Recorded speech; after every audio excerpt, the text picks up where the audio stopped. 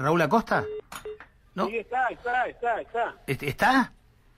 Está. Eh, ¿Es, ¿Es, Acosta el, verídico, el legítimo? ¿El, el, el real? Le Vernier. No, no, no, no, no, no, no, no. Yo sé que anduvo por París, no me venga a mí a chapear con el francés. A mí... Velas, entonces, Velas. Velas eh, Te quiero preguntar una cosa, Bigote. Eh, ilustranos. ¿Qué es lo que vamos a votar? No me venga con que vamos a depositar una papeleta en la urna. El domingo, ¿qué vamos a votar?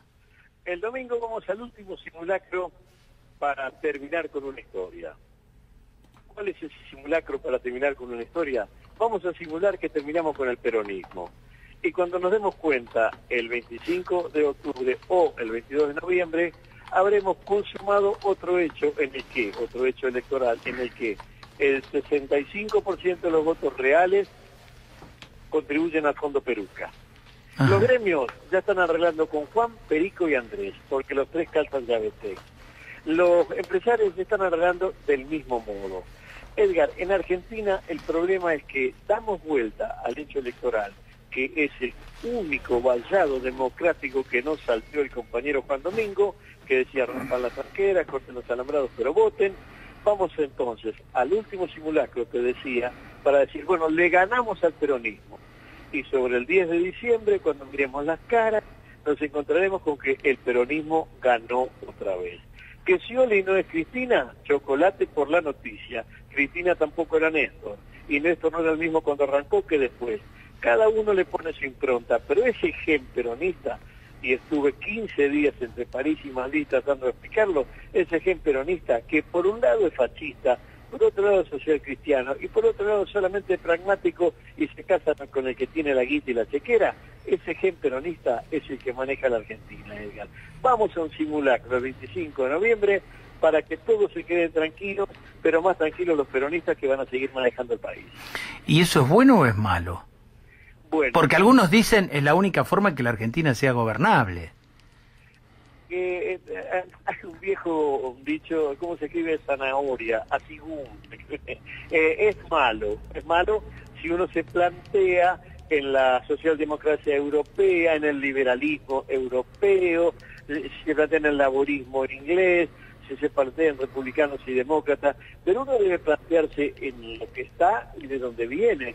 Nuestras espaldas son estas. Bueno, eso es lo que dicen los chinos, Bigote, cuando le dicen, pero esto no es democracia. Dicen, bueno, ustedes hacen democracia occidental. Nosotros hacemos democracia como la entendemos nosotros. Nosotros en la Argentina probablemente tendremos que comenzar a hablar de, nosotros tenemos democracia a la criolla.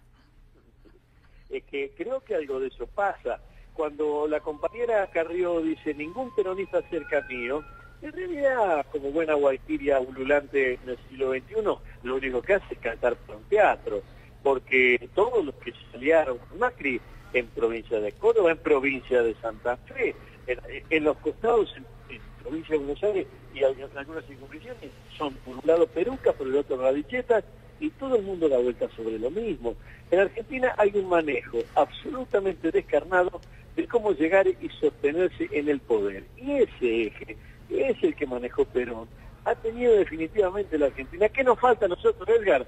Bueno, a nosotros nos faltan 200 años para que esto sea realmente historia. No podemos en la mitad del barullo, cruzando el río, decir desmontemos y vamos ahora caminando o ahora vamos nadando. Nosotros estamos incursos en una, eh, diría, variable de la historia latinoamericana. Nosotros no somos Julio Vargas, no somos Ibáñez del Campo, no somos Francisco Pérez Jiménez, no somos nada de lo que se dijo. De hecho, no somos el Loco Chávez, pero que nosotros tenemos un costado surrealista que los analistas centroeuropeos no pueden entender, y tampoco los analistas yanquis chinos no les interesa entender nada, con tal de que les dejemos que se apropien del petróleo, el agua y las hojas, suficiente. Nosotros somos esto, Edgar. Querer salirnos de nuestra matriz nos deja desmatrizados, pero de ninguna manera libres. Y eh, entonces, resumiendo, ya que estás en el aire y, tuviste la deferencia de hablar con nosotros, Bigote, eh, ¿vos crees que de esto va a salir una mejora de la democracia o vamos a seguir acumulando deudas en el sistema, deudas que obviamente no se garpan tampoco? Eh, te, te, remito que creo que vamos a mejorar, pero por celular. Eh, yo recuerdo un viejo periodista a, a quien respeté mucho, eh, se llamaba Osiris Troiani y hacía crónicas de, de política exterior. En primera plana, era el jefe, cuando Roberto García era cadete de primera plana, su jefe era Osiris Troiani. Eh, Osiris Troiani, compartí con él muchos sitios y él me decía una frase a la que cito porque es un robot textual. Bigotes, me ponía plural. El último bastión de la democracia es la comuna. Cuando vos dejás de conocer quién te maneja la plata, quién es tu secretario de salud y quién es tu presidente de la comuna y se convierten en anónimos, la democracia desapareció. Entonces le preguntaba a Osiris, ¿cuál es el problema? Que no hay democracias que sean sociedades anónimas. Las democracias son gobiernos del pueblo o son sociedades anónimas. Y no me decía más nada, se daba vuelta y se iba a fumar a otro lado. Eh, sigo pensando lo mismo. Por unidad, por células, nosotros vamos de a poquito acomodándonos a eso. Eh, nos faltan 200 años. Como yo tengo una sobrevida muy grande, yo espero llegar, no sé vos. No, no, te lo dejo, te lo dejo. Voy a llegar demasiado. Es, es, pensar que voy a llegar muy achacado. No, no, no quiero dar lástima. Edgar, para, para, déjame terminar con algo absolutamente fuera de lugar, pero que se corresponde. Hace pocos días murió una señora, la mamá de un amigo, con 102 años. Y yo le decía, Dado, ¿qué pasó con, con tu vieja? Porque tenía, estaba lúcida hasta los 100 años, 101, ¿no? Decía, mira, Bigote, el lío es que no tenía con quién hablar. Le digo, ¿cómo? Así dice, se habían muerto todos los suyos. Dice, la más joven cercana tenía 70, 30 años de diferencia.